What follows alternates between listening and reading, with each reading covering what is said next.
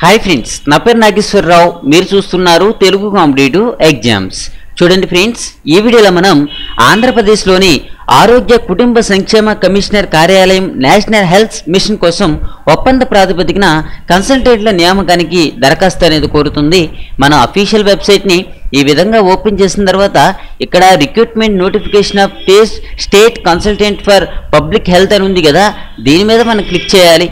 Click చేసిన తర్వాత PDF అనేది మనకి ఏ విధంగా ఓపెన్ అవుతుంది? అయితే మొత్తం ఖాళీలు వచ్చేసరికి మనకి పద్నాలుగుగా చెప్పడం జరుగుతుంది. ఉద్యోగాల విషయానికి వస్తే స్టేట్ కన్సల్టెంట్ ఒకటి డిస్టిక్ కన్సల్టెంట్ పద్నాలుగు ఉన్నవి వయసు వచ్చేసి నలభై ఏళ్ళకు మించకూడదు అని మనకి చెప్పడం జరుగుతుంది. అర్హతల విషయానికి వస్తే ఎంబీబీఎస్ లేదా బీడిఎస్ ఆయుష్ నర్సింగ్ డిగ్రీ ఉత్తీర్ణై ఉండాలి. దీంతో పాటు స్టేజ్ కన్సల్టెంటీ ఉద్యోగానికి master in public health MD community medicine MBA health hospital management hospital administration district కన్సల్టెంట్కు degree diploma health management పూర్తి చేసి ఉండాలి. అనుభవం అవసరం అని కూడా మనకి చెప్పడం జరుగుతుంది. ఓకే? అయితే చూడండి అనుభవానికి సంబంధించినటువంటి పూర్తి డీటెయిల్స్ అనేవి మనకి ఈ యొక్క పీడిఎఫ్లో ఇవ్వడం జరిగింది. అయితే వేతనం వచ్చేసరికి హయ్యెస్ట్గా మనకి ఏంటంటే యాభై వేలు ఉంటుంది. నలభై వేల నుంచి యాభై వేలు వరకు కూడా శాలరీస్ అనేవి ఉండేవి.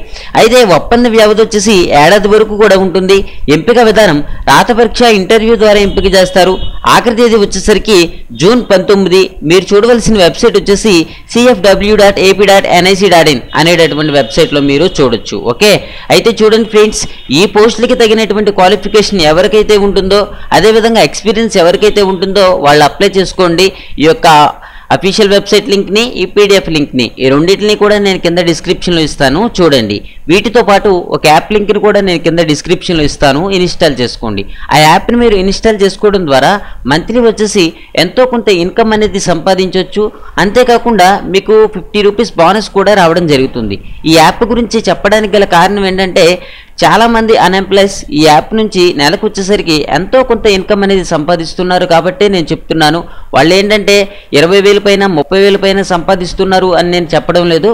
కనీసం ఎక్లిస్ట్ ఒక త్రీ థౌజండ్ ఫోర్ థౌజండ్ అయినా సంపాదిస్తున్నారు కాబట్టి చెప్తున్నాను. Thank you for watching have a next